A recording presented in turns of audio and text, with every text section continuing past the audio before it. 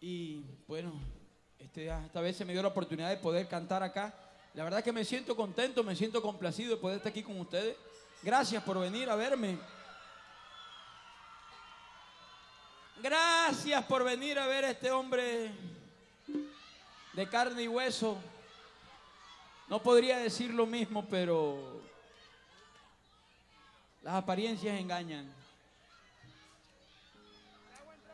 Cada día, cada día, cada día me doy cuenta que soy un payaso. Me toca reír y me toca cantar y me toca disfrutar, aunque por dentro estén pasando momentos duros y difíciles. Pero bueno, para eso me mandó, para eso me mandó Dios a la tierra, para ser un ejemplo de superación de los demás. Ayer cumplió año Lucas.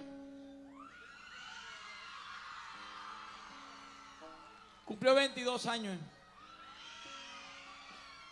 Y yo le dije, y yo le dije, yo también quisiera cumplir hoy en día 22 años, pero no para verme más joven. No, no para verme más joven, sino para recuperar el tiempo perdido y no cometer los mismos errores que he cometido de los 22 a los 33. La gente cree que todo es soplar pitillo y soplar botella, tan loco. Amárrese los calzones, eso de tener tres pelados. Dígame yo que trabajo. Ahora dígame los flojazos que no trabajan. Dice.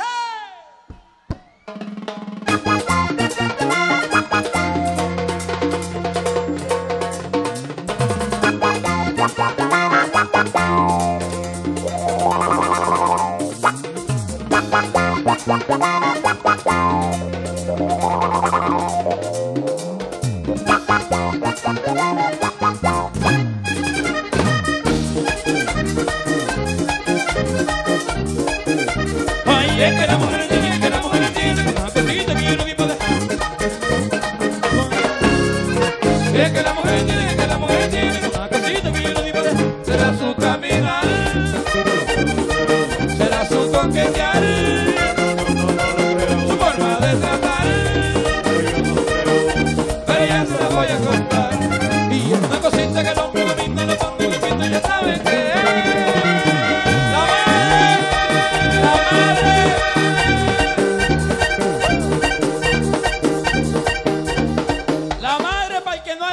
Dice arriba, arriba, arriba, arriba.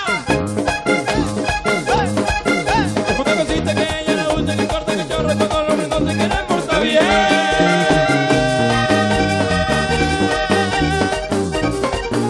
Que la cosita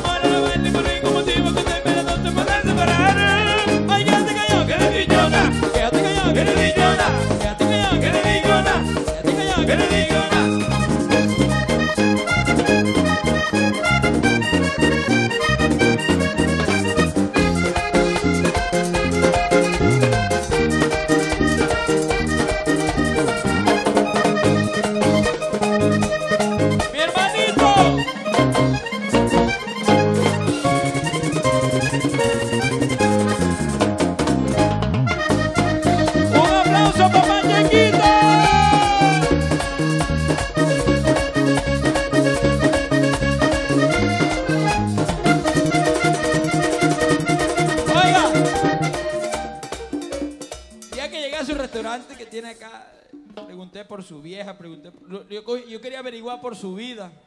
La verdad que salí muy complacido de ahí. Yo sabía que usted no me iba a fallar y dije, el que va para allá es Pachequito, sea lo que sea, porque ese man tiene que irme cantar en su pueblo. Gracias por venir, compadre mío.